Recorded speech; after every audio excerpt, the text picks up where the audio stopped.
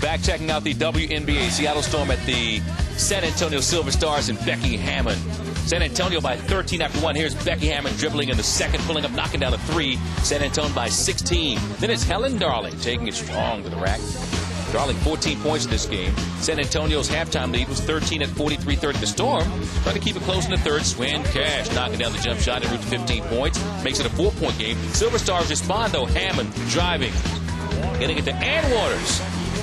San Antonio up nine at the end of three. Now in the fourth, it's Hammon pulling up and letting it go from three. San Antonio holding the lead. Hammon finishing with 20 points and five dishes. Sophia Young spinning, scoring. 23 for Young. The Silver Stars defeat the Storm 87-72. Swin Cash 15 led the way for Seattle. And Sophia Young 23 led everybody in the game. Hammon chipping in with five assists to go with her 20 points in the win for the Silver Stars.